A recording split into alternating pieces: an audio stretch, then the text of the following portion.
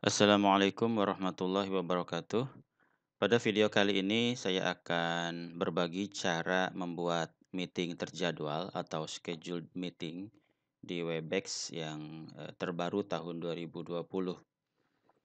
Pada video sebelumnya kita sudah eh, belajar cara membuat akun Webex terbaru tahun 2020 dan Eh, bagi yang belum menonton, silahkan ditonton dulu video pertama, video sebelum ini tentang cara membuat akun Webex uh, gratis. Nah, pada video yang lalu, kita akan mendapatkan email dari Webex berupa uh, username dan Webex site. Username berarti alamat email yang kita daftarkan.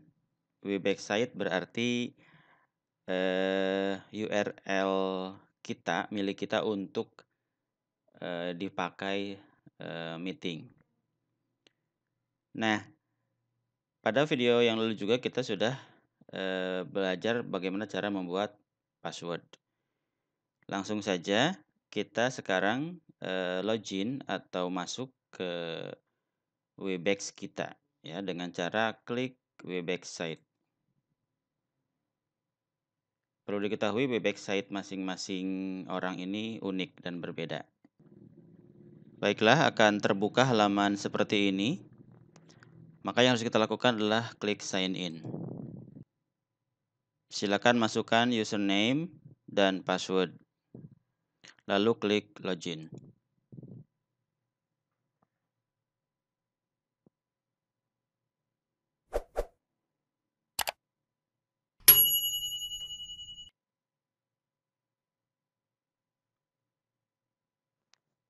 Setelah kita login, kita akan uh, masuk ke halaman home ya, halaman uh, beranda. Di sini ada dua pilihan. Yang pertama adalah start a meeting, yang kedua adalah schedule. Start a meeting adalah memulai meeting saat ini juga, yang sudah kita bahas pada video sebelumnya. Sedangkan yang akan kita bahas pada video kali ini adalah bagaimana membuat meeting terjadwal. Berarti langsung saja kita klik uh, tombol schedule. Setelah kita klik schedule, maka kita akan diarahkan ke halaman uh, schedule a meeting.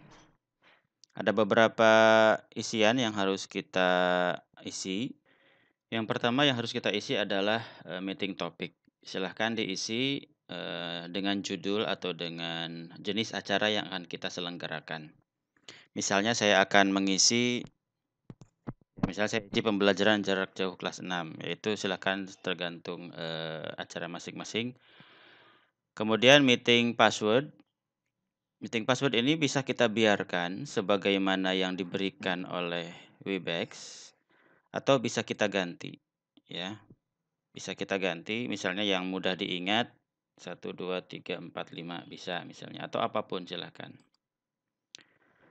Kemudian eh, selanjutnya adalah kita menentukan tanggal dan waktu kapan eh, pembelajaran atau kapan meeting akan dilaksanakan. Kita klik saja eh, segitiga ke bawah ini. Nah, misalnya meeting akan kita laksanakan pada tanggal 3 April, waktunya misalnya pukul 7 pagi, 7 AM pagi ya. Kalau PM berarti eh, malam. Kemudian durasinya bisa kita atur mau berapa jam, misalnya 6 jam. Kemudian kita klik uh, dan waktunya pastikan uh, Bangkok, Hanoi, Jakarta. Artinya pukul 7 pagi ini memang pukul 7 waktu Jakarta gitu. Ketika kita ganti misalnya jadi waktu Hawaii ya atau Alaska atau yang lain, maka dia nanti uh, pukul 7-nya pukul 7 mengikuti waktu yang kita setting di sini. Tidak akan e, nanti tidak tidak akan jam 7 persis ya kalau kita setting waktunya salah. Selanjutnya di sini ada tombol recurrence. Recurrence ini artinya e, meeting ini kalau kita checklist ya, kalau kita checklist recurrence-nya ya, maka akan ada isian baru. Ya, di sini ada pilihannya recurrence pattern ya, pola pengulangannya bisa harian, mingguan, bulanan atau tahunan. Kalau kita pilih harian, berarti ya setiap hari jam 7 pagi room room akan terbuka ya. Dari mulai hari Jumat tanggal 3 April yaitu setiap pagi jam 7 itu eh, room akan terbuka. Berarti tanggal 4 Aprilnya, tanggal 5 Aprilnya terus akan terbuka setiap jam 7 pagi selama 6 jam. Kalau kita pilih mingguan, maka setiap hari Jumat jam 7 pagi ini akan terbuka roomnya. Bisa kita atur juga jangan hari Jumat, misalnya hari Senin. Jumatnya kita uh, unchecklist, tidak di checklist ya. Maka setiap hari Senin jam 7 pagi selama 6 jam room akan terbuka ya. Akan terbuka tentu uh, setelah kita uh, buka ya. Nah, kalau kita ingin membuat room ini hanya sekali saja untuk uh, satu waktu, misalnya untuk tanggal 3 April jam 7 pagi saja, maka tombol recurrence-nya jangan di checklist. Ya, kemudian uh, attendees ini bisa saja ya Eh, email peserta kita masukkan ke sini. Tapi bisa juga dikosongkan karena nanti peserta masuknya bisa dengan eh, meeting link atau dengan room number. Baik, itu saja settingannya secara umum. Eh, kita anggap selesai ya. Di sini ada pilihan lain, so advanced options. Kita coba checklist apa isinya ya. Di sini ada audio connection options ya. Pilihannya mau pakai Webex audio, VoIP atau tidak. Ya, kita pilih saja Webex audio. Kemudian kalau kita ingin menuliskan agenda di sini, apa saja yang akan dibahas pada meeting topik ini, maka kita bisa tulis di sini. Bisa juga dikosongkan. Lalu ada lagi scheduling option. Kalau yang ini di checklist, berarti peserta harus punya akun dulu sebelum gabung e, ke meeting kita.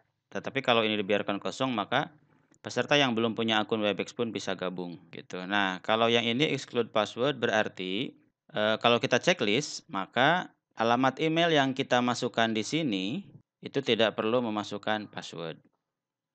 Tapi kalau kita kosongkan berarti semua harus memasukkan password. Nah, kalau ini join before host ya. Kalau ini kita checklist, maka peserta bisa masuk ke room atau ke uh, meeting ini bisa masuk ke meeting ini sebelum kita buka roomnya.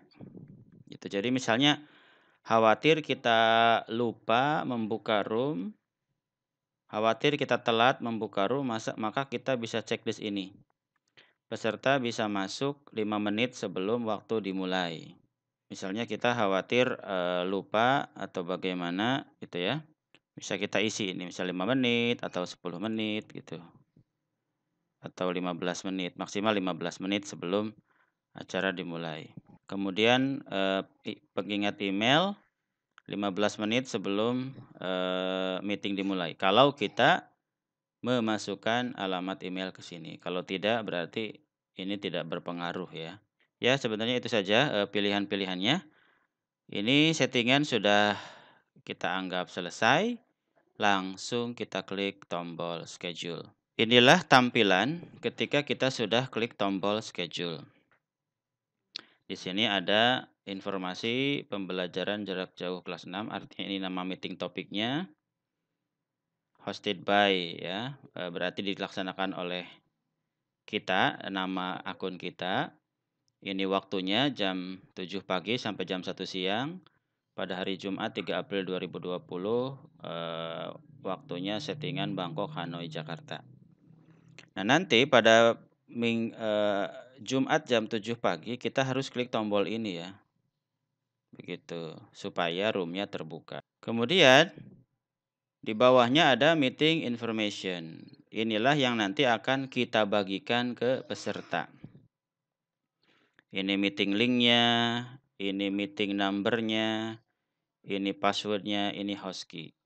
Hostkey ini sebaiknya tidak di share ke sembarang orang, Karena host-key ini adalah angka yang diperlukan untuk mengambil peran host. Jadi hanya diberikan ke orang-orang tertentu atau eh, cukup kita yang tahu. Meeting link ini adalah cara orang untuk gabung secara instan. Jadi eh, kalau orang ingin gabung dengan meeting link, dia cukup klik meeting link saja, langsung gabung. Ya, kalau orang ingin eh, gabungnya lewat meeting number, maka dia harus memasukkan dulu meeting number, ya, kemudian masukkan password, begitu. Nah, itu saja eh, tutorial cara membuat scheduled meeting atau meeting terjadwal Webex terbaru tahun 2020. Semoga bermanfaat. Terima kasih. Wassalamualaikum warahmatullahi wabarakatuh.